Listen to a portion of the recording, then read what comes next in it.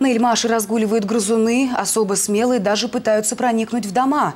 Любители полакомиться отходами облюбовали мусорную яму. Теперь у жителей домов две проблемы – куда выносить отходы и как избавиться от новых соседей. Репортаж Надежды Марковой.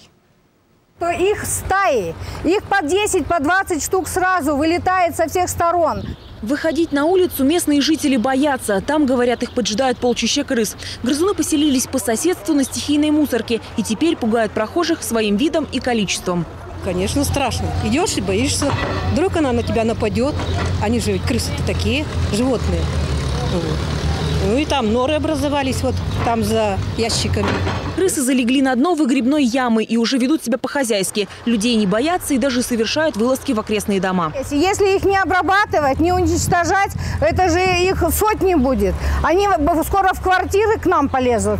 Обработкой здесь не обойтись, говорят коммунальщики. Нужно устранять не следствие, а причину, а именно перестать сваливать бытовой мусор, где попало. Изначально эта яма предназначалась только для негабаритных отходов. Но сейчас сюда, к радости грызунов, бросают даже остатки пищи. Жители оправдываются. Больше это складировать негде. Если бы людям сделали условия для сбора мусора, они бы это не делали. Если бы была огороженная площадка, с которой бы вывозился мусор, не было бы этой ямы и не было бы столько крыс. Имеющиеся контейнерные площадки, говорят эльмашевцы, Красавцы им мало, ведь туда несут мусор жильцы нескольких домов. В управляющей компании о крысином нашествии знают и обещают снести поселение грызунов уже этим летом. Значит, будем изыскивать из других каких-то средств. Часть, может, с текущего ремонта придется снимать. Часть еще где-то. Ну, все равно сделать. Ну, надо.